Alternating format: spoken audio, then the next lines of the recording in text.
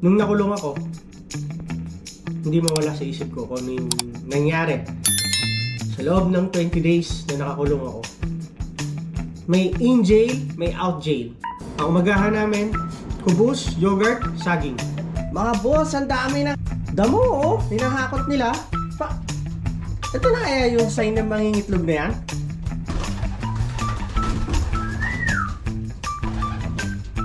Tagalin ko. Kaya wala na oh. Oh. Kiss mo na. What's up mga boss? What's up mga boss? Check it. What's up mga boss? What's up mga Check it. boss?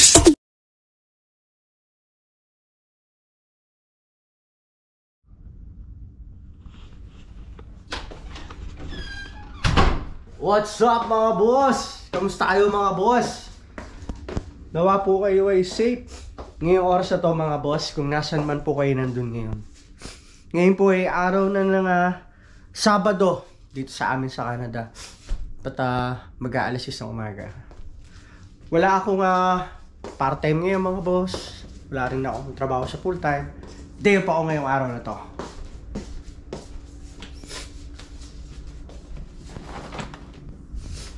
At dahil day off ako, syempre, maglilinis ako ng bahay. Magtitiklop ako ng damit mga boss. Ito. ah.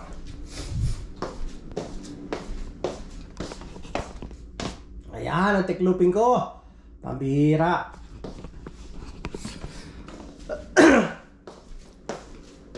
Kagabi,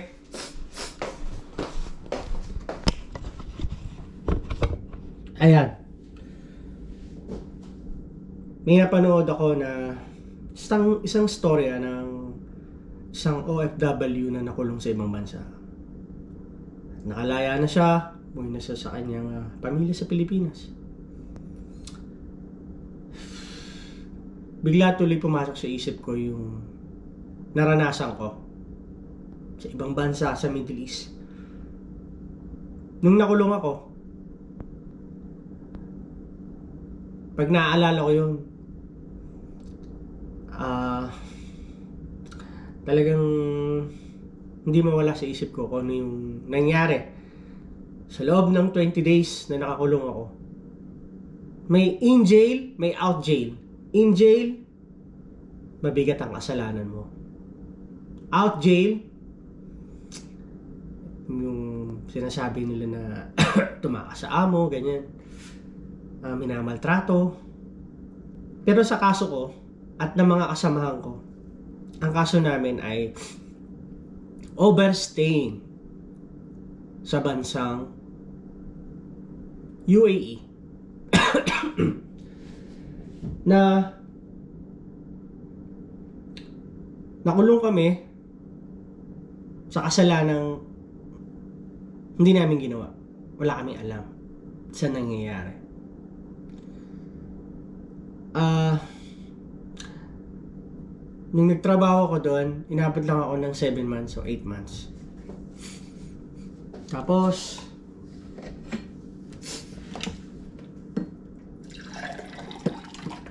yung Pinay na aming employer, napakabait nun sa amin. Pati yung mga kapatid niya. Mabait sila sa amin. Talaga asikaso ganyan. Sweldo maayos. Pagkain okay naman. May asawa siyang lokal. Anong panahon na yon? May nararamdaman na pala yung amo namin Pinay. Meron pala siyang sakit. Ang trabaho ko noon ay isang panadero. Baker po ako doon. Helper baker. Doon po ako nag-start.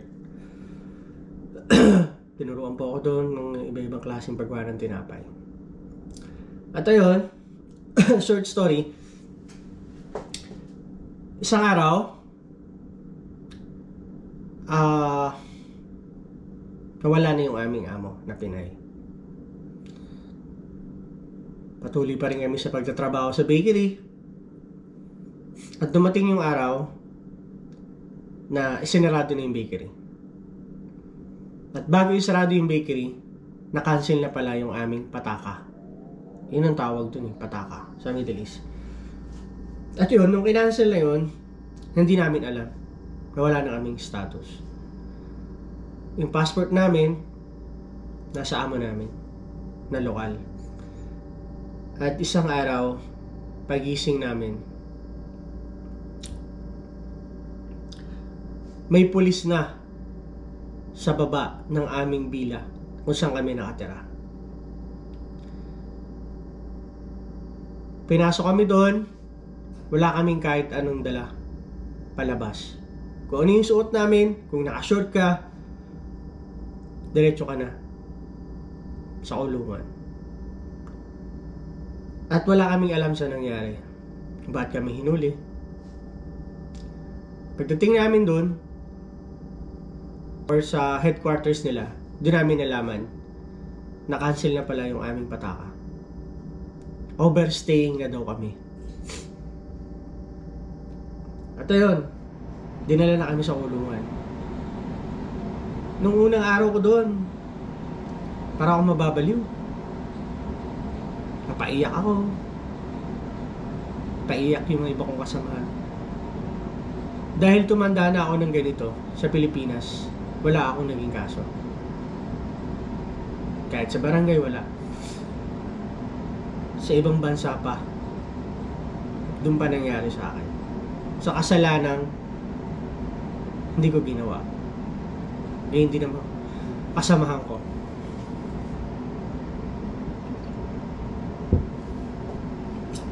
Sinare ko sa inyo to hindi para kaawaan nyo ako sasabihin ng iba, bakit kinuwento mo pa ganyan? Dapat hindi mo na kinukwento. Hindi mga boss, sa akin wala akong dapat ikahiya. Ginawa ko yun, nangyari sa akin yun sa buhay ko. Na wala naman akong kasalanan. Gusto ko lang itong i-share sa inyo na para maging uh, ma- ma-inspired kayo na hindi dapat mawala ng pag-asa. Kailangan na uh, lumabang ka sa buhay. Kung na-failed ka sa, sa pagkakataong ganun, huwag kang sumuko. Lumabang ka, pagpatuloy mo pa rin. Kung ano yung gusto mong marating. Parte yun. Parte yun ng buhay natin. Ang mga pagsubok. Hanggang ngayon, naalala ko yun pag ako'y nakakita sa balita ng mga taong kinulong sa ibang bansa. Nakalaya. Hanggang sa airport, mga boss. Nagkasama kami na polis. Doon lang ibinigay yung aming pasaporte.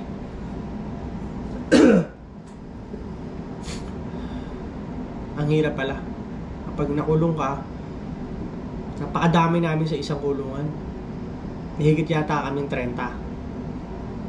Ang higaan ko lang, eh yung karton ng orange juice na binilog ko. Tapos yung isang karton naman ng orange juice ulit, yun ang ginawa kong higaan. At yung kumot, magkakatabi kami mga Pilipino. Iba-ibang lahi ang nakakulong mga boss. Iba-ibang lahi talaga. Masakit yun na makulong ka. Hindi alam ng pamilya ko, ayaw kong ipaalam. Kaya ako nagkaroon ng contact sa asawa ko noon. Nabay talaga si God eh. God is good talaga. God is good. Nung nakakulong kami, the second day, pagising namin ng alas 5 ng madaling araw. Dahil, uh, hindi ko alam kung ano bang term doon, anong tawag doon, yung uh, sumasamba kami, yung sa Muslim. Mga ilang minuto din yun, bago kami kumain ng umagahan. Ang umagahan namin, kubus, yogurt, saging. Yun.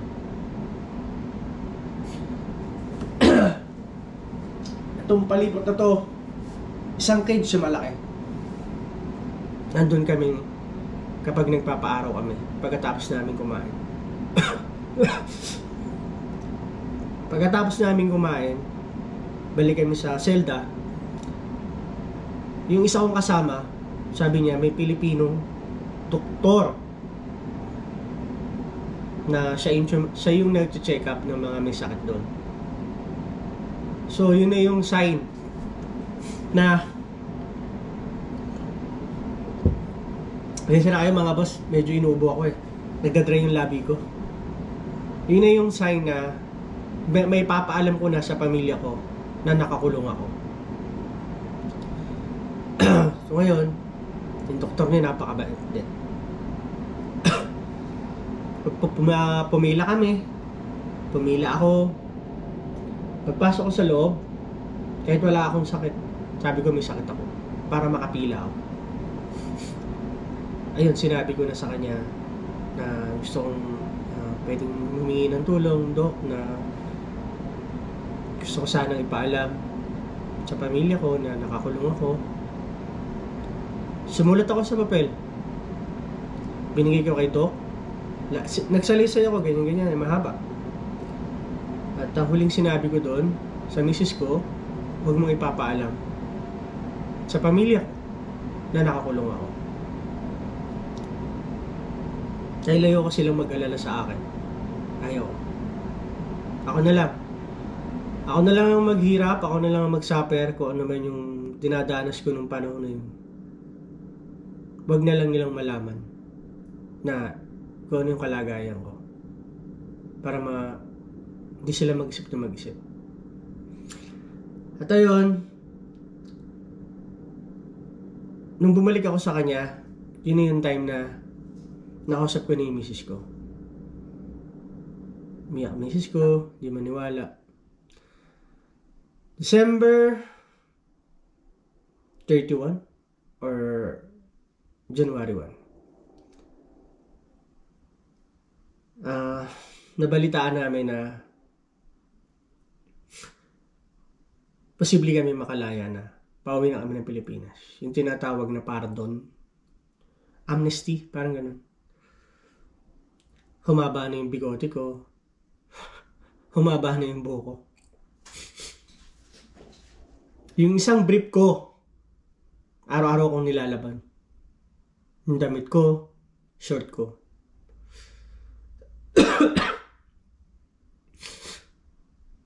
Pag kami naliligo, sabay-sabay. Dalawampung shower, walang pintuan, open lahat, sabay-sabay kayo maliligo. Walang suot. Wala nang pakailaman. Sa makapali. Makapaligo ka.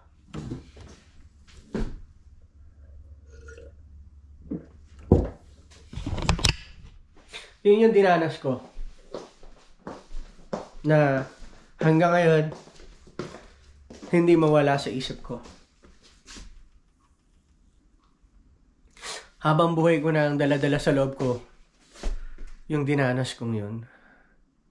At ah,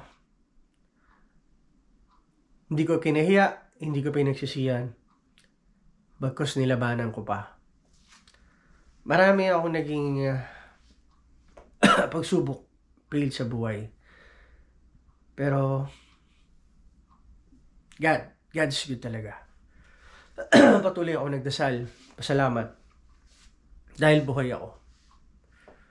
Hindi naging mabigat yung kaso namin. At ah, nakalaya ako. Sinare ko yun sa inyo para maging inspirasyon sa inyo na anumang pagsubok ang dumating sa inyo, huwag kayong susuko. Lumabang kayo. Makakamit nyo yung gusto nyo sa buhay.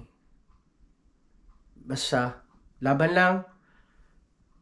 Laging magpasalamat sa Panginoon. Lagi kang magdasal. Hindi, hindi ka niya pababayaan. Ibibigay niya sa'yo yung nais mo. Hindi man ganun kadali. Hindi ganun kadali. Doon niya susubukan kung gaano ka kapait sa kanya. Yun ang totoo mga boss. Hindi ako pala simba. dito sa Canada. Nagsimba pa lang ako dito sa natatandaan ko. Sa 6 years ko, apat limang beses. Di ba? Hindi ako ano, banal, di ba? Hindi man banal. Hindi ako hindi ako hindi ako palasing ba na tao. Siguro dahil din sa nature ng trabaho namin. Iba-iba yung day off namin eh. Pero magkaganon pa man, lagi ako nagdadasal dito sa aming poon. Sinare ko yun sa inyo mga boss para maging inspirasyon sa inyo. Sa hamon ng buhay, patuloy ang buhay lumaban ko lang. Huwag kang susuko. At di ko na natiklop ang damit ko. Magtiklop tayo mga boss.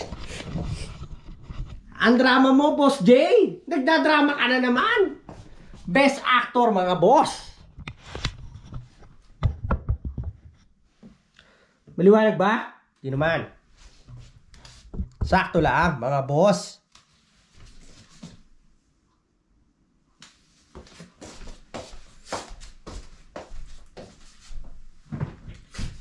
Pakainin ko muna kaya kalapati ko, mga boss. Bago ako magtiklop. Baka makalimutan ko pa, magutom yung kalapati ko, mapagalitan ako ng mga yun. Let's go. Pero titiklopin ko to.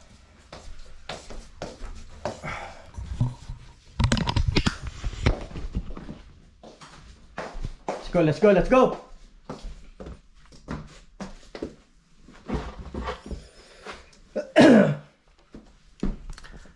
Masayahin ako.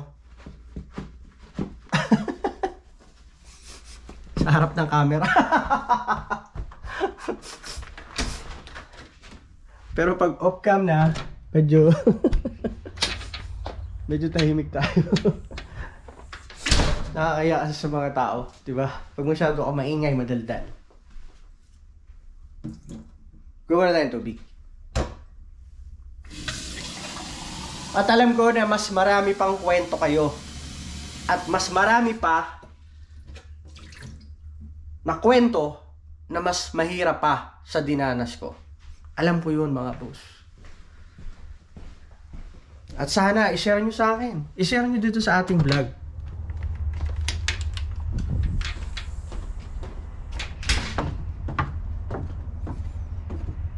Binuksan ko na yung kabanata ng aking buhay. Kasi na sa kanila to mga boss. Di ba, basa pa rin yung damo oh. Oh. Nakikita nyo ba yung puno sa likuran namin? Ay, palubat ako. Teka lang. Pabira. Malulupat ako mga boss. Pilisan natin. Magpapalit tayo ng, char- ng charger. Battery. Wait lang mga boss.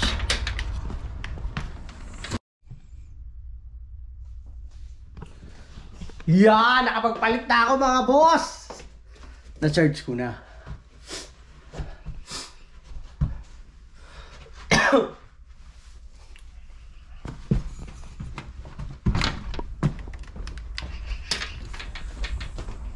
Go, let's go, let's go, let's go, let's go.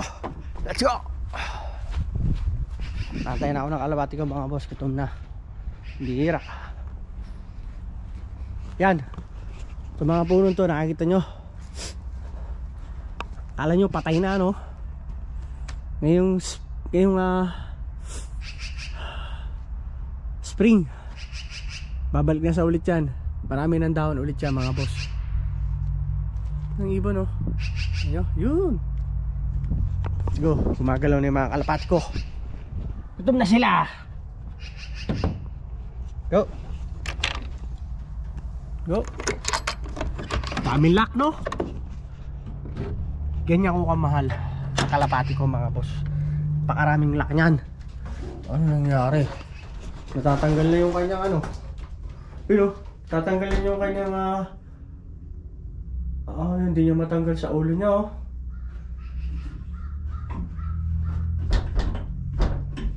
Nagkasugat kasi yan eh. Pero, oh, hindi niya matanggal. Nagkasugat kasi yan, inaway nito itong isa dito sa lalaki. Ngayon hindi niya matanggal yung sa ulo niya. Pag hinuli ko naman, mamaya mabulabog yun sila eh. Pambihira. Yun na nga.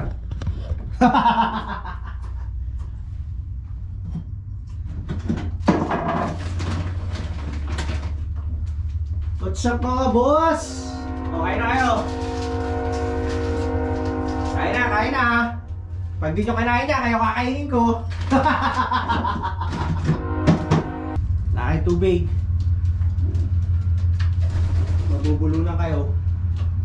Gusto kitang ulihin eh, para matanggal kayo nasa ulo mo. Kaso, tatakbo ka naman eh. Lilipad ka, hindi ko rin ma...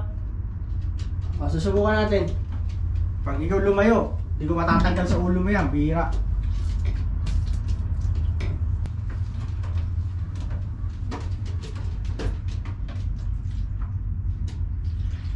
Oo, inom na.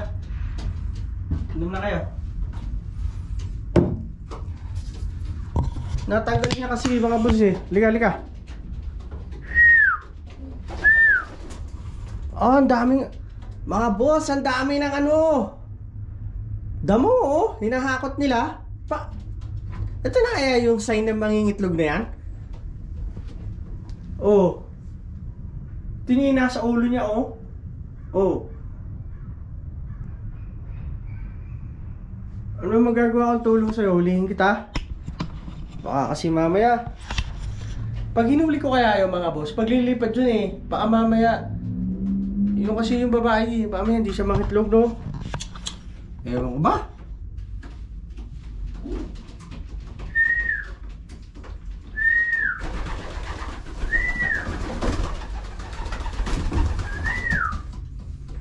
To, oh. Oh. Ayan oh.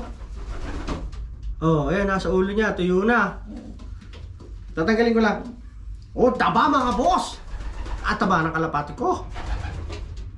Tanggalin ko. Oh, ayan, wala na oh. Oh. Natuyo na oh. Sugat niya oh. Oh, wala na. Kiss mo na. Woohoo! Ang aking mga kalapati. Sugat siya, kawawa naman eh. Magaling na to. O, libad na, libad na.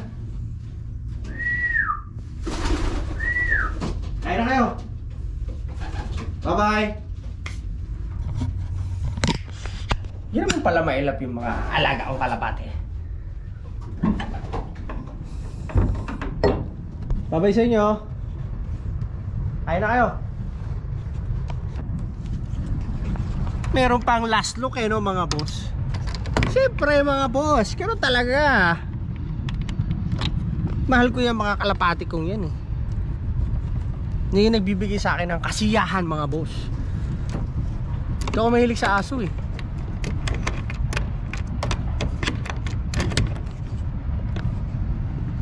Lock na. Lock. Lock at may tukod pa yan. Ay. Ako mahilig sa aso mga boss. Takot ako sa aso. Takot na ako ng aso eh, pambihira. Tatlong beses eh. Alapate, okay sa akin yan. Sa kahit anong klaseng ibon. Putik lang pa ako. Sapatos ko pala, sorry. Ng sapatos ko.